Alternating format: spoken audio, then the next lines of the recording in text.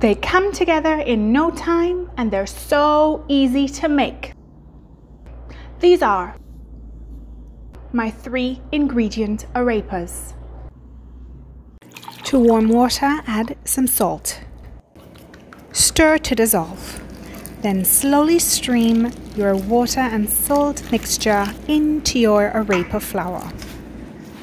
If you're wondering what's the best flour for making arepas, head on over to the website and it is listed there with the ingredients and the exact quantities used.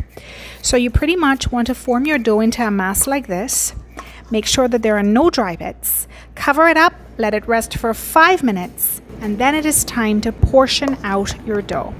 So first, roll it into a rough ball, then using the palms of your hands, flatten it into a disc shape and this is being done in real time and you can see how easy it is to make.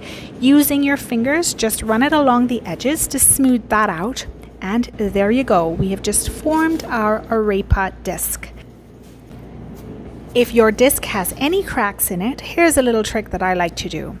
Dip your finger in water and then place it on the crack and it smooths right out. So now it's cooking time. So in an oiled preheated skillet, you want to cook each side for about three to four minutes or until the surface is sealed. If you flip your arepas too early, they may stick. So here's a great tip on knowing when to flip. Using your fingertips, apply gentle pressure, and if the arepas move easily, they're good to go.